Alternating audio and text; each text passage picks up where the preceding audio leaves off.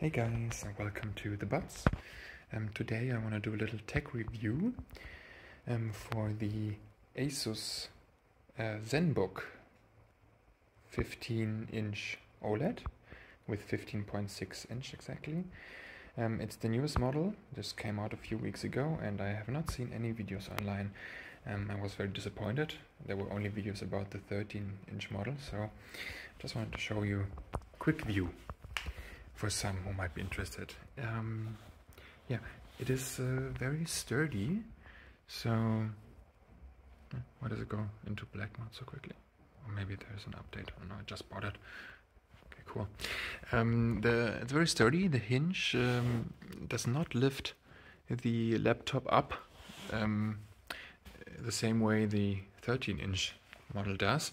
Um, there was a worry because I thought then all the weight would be on the display um, but that's not the case here. And um, yeah. yeah, what can I say? It's a high resolution, like the QHD, I think. So for this uh, size, it's amazing and um, has 120 hertz. Um, the, uh, yeah, the laptop comes in a box with this 65 watt charger and an Ethernet adapter. Um, for the one week I've been using it, I can say it's a bit annoying that it doesn't have Ethernet on the laptop because this thing is not optimal, it gets very hot, um, but it does the job.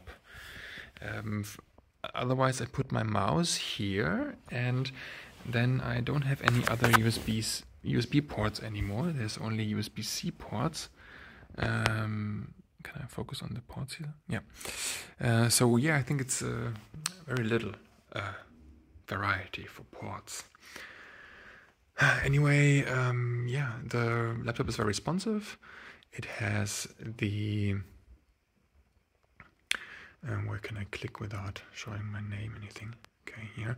Um, it has a um, Ryzen 7735U, uh, and the graphics are I think a Radeon 680M. Uh, I can play uh, League of Legends, for example, on high resolution, and it struggles a bit to get the 120 hertz all the time, but most of the time it's okay.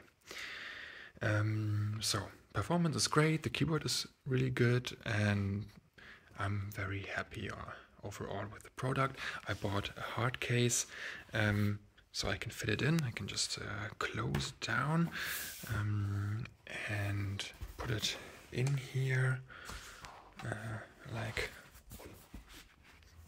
Uh, sorry, need two hands. so yeah, put it in here and then I have it all safe.